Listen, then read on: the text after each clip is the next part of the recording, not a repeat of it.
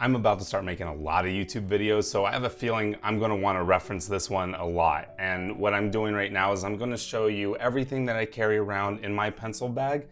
And I'm gonna do a brief little demonstration to show you what each tool does on this wonderful masterpiece right here. That's a completely original thought. It's Girl with the Pearl Smudge. So let me go ahead and show you the different tools that I use. Over here on the right, we have the ways that we lay down graphite, our pencils, blending stumps, graphite powder, and a couple of rags and toilet paper for smudging.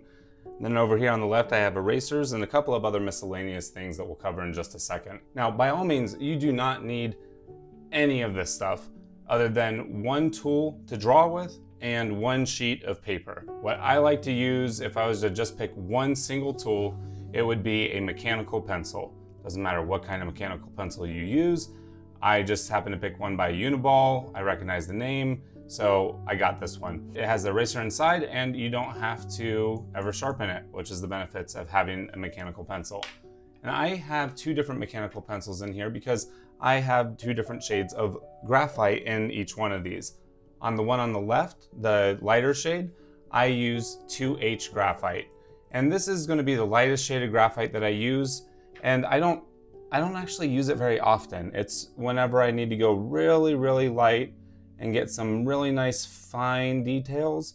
But again, I have to be really light-handed with it and I don't really use it very often. It might be the last final touches or if I needed to just do a quick sketch and I wanted to do something as a sort of an underline sketch in here and was trying to get maybe the sleeves or something and I'm just sketching very lightly, that's another reason why I might use the 2H, but I don't use it often.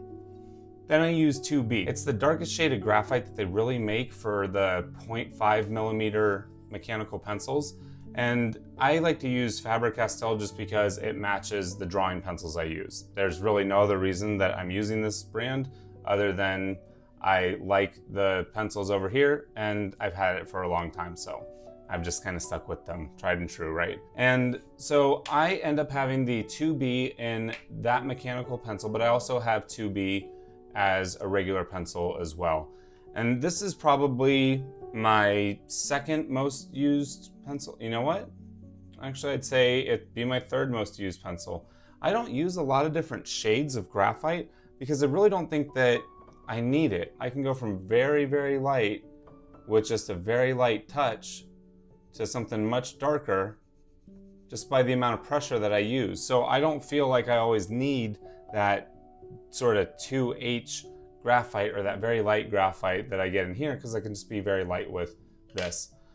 Then I have the 4B pencil, which is just so they can get a little bit darker. That's what I think I drew all these sort of outlines with is the 4B pencil. And then 8B. And there it goes. And then I have my 8B pencil. This one I use so much that I actually carry a second one in my bag so that I don't have to keep sharpening the same pencil over and over and over and over. It saves me a little bit of trouble just having two in my bag that I can sharpen both at the same time and just kind of be done with it. So beyond the pencils, I've got my blending stumps and I just, just like uh, I use a couple different things for making my pencil marks either nice and wide or I use something very detailed like the uh, mechanical pencil, I do the same sort of thing with my blending stumps. I've got nice and wide so I can lay down a very big area of shade quickly. And then I have the finer ones so that I can get in just little smaller places like the eyes. These things are so cheap, easy to replace. I think I spent maybe like six, seven dollars, and now I, I think I have something like 50 of these. It's ridiculous. Very, very cheap, easy to get. But besides that, I really like to use my graphite powder. I made another video on graphite powder. I'm not gonna go through all of that here, but I really like to take my graphite powder, which is basically pencil that I've used on some sanding paper. And then that's allowed me to get my graphite powder into dust. And so check out that other video, links up here, but I use a makeup sponge. I dip it into my graphite powder, and that lets me get a nice big block of graphite down quickly.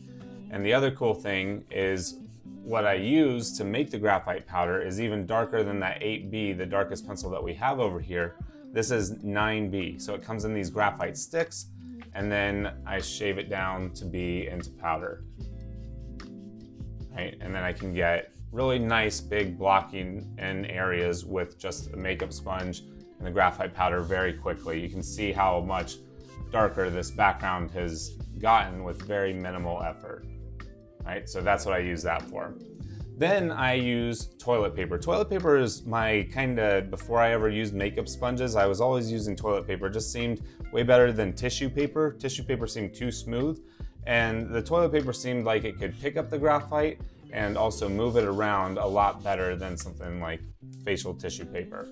So I like to use toilet paper. It helps get rid of pencil lines and different smudges.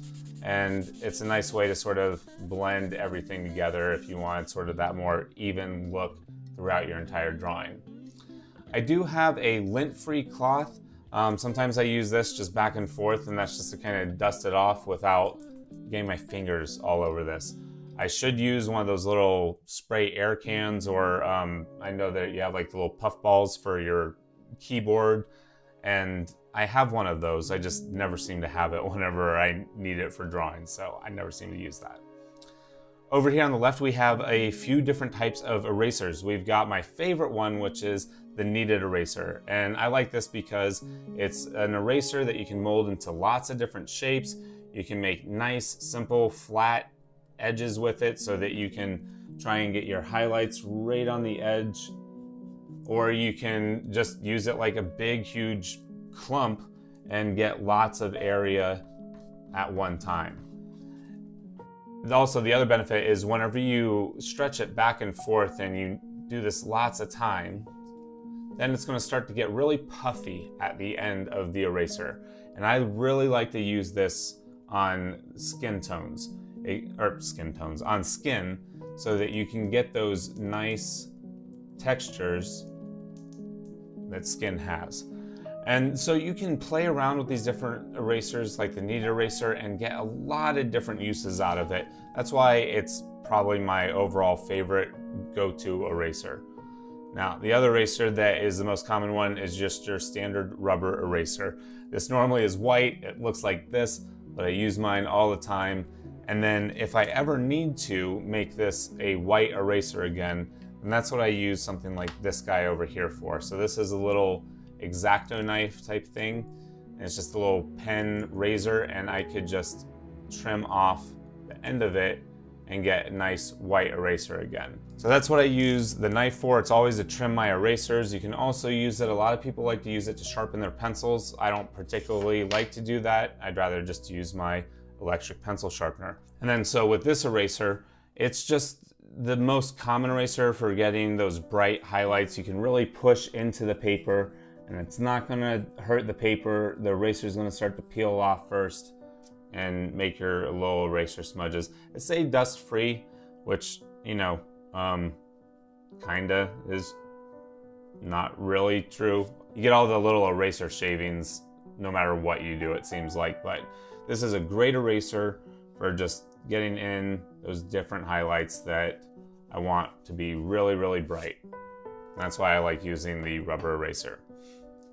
Then I have my electric eraser. The electric eraser is a small rubber eraser, just in the very, very tip of this. And this is great for just pressing down on the top here on this little button for going in and getting those little spots of highlights. Just what I need right in those eyes. And the reason why we use an electric eraser is just to get really, really precise and to get those little itty bitty highlights that might be really hard to actually erase if you have to move an eraser back and forth. So the electric eraser is just spinning rapidly so that I don't have to go back and forth to erase something like I would have to do with some of these other erasers. In fact, the next eraser is just like the electric eraser. It's very similar even in shape, but it's a non-electric version of that, and this is called the Tombow Mono Zero. I don't know if other companies sell erasers like this, but they make two different shapes that I know of, a more square shape and a round shape. The square one is not often used by a lot of people, but it's a way that I like to just get those nice little tiny edges, those little edge highlights in there. Seems to work out pretty good for me. Most people do prefer the round one. This is just the general, overall great tool for being very accurate in your eraser and it's like you're using a pen or pencil just as an eraser because of its shape. So uh, very nice little tool, highly recommend that. Then we have uh, just a few more things left. We've got this little guy. This is just for taking the pencils once they get nice and short from having used them after a long time, especially these 8B pencils. Then we just drop it in there and we have a pencil extender. So that way, once the pencil's small, I still have kind of a normal size pencil. And I keep this in my bag. I don't often get too low. I would go back and probably switch pencils before I got too low, but just in case, I have one of those in there. Ruler, because you never know when you might need it. An electric pencil sharpener, very straightforward. Can sharpen lots of different sizes. There's different size pencils. I only ever use this one size. And it does a fine job. It doesn't always do a great job, as you can see, it just sort of picked away that. The other thing that I would probably have an issue with is this electric eraser. I don't prefer this because with the button being on the outside, whenever you throw this in a pencil case, ends up hitting this button a lot. And you just hear this noise and it sounds like you have your electric toothbrush or electric razor or something going off in your bag. And it's just that running out of juice, so. And the very last thing I have on this desk are these alligator clamps. And I mostly use these with my sketchbook so that whenever I have pages sticking up like this that I want to draw on, I can take an alligator clamp, maybe grab a couple of other pages, and just put it on the side, and with the weight of that clamp, it'll lay down. So I keep two so I can do that, one on each side, makes it really nice and easy, and keeps my paper flat. And if you are interested in the paper that I use, I have this video right here for you to check out on the paper that I use to make this entire sketchbook.